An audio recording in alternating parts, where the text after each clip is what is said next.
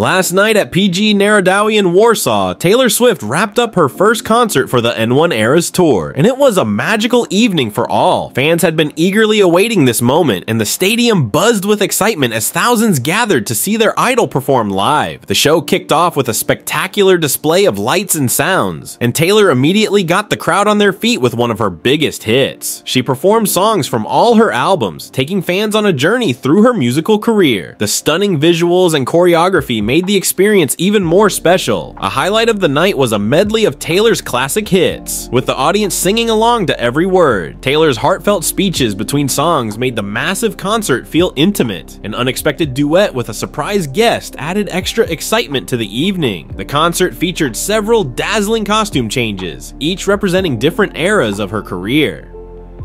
As the night drew to a close, Taylor performed her most emotional ballads, ending with a powerful anthem that had everyone singing along. The stadium erupted into applause as Taylor took her final bow. After the show, Taylor thanked her fans and promised to return to Warsaw. Fans left PGE Narodowy buzzing with excitement, sharing their favorite moments on social media. Taylor Swift's first concert in Warsaw for the N1 Eras tour was a celebration of music, connection, and unforgettable memories. Fans eagerly look forward to her next performance performance.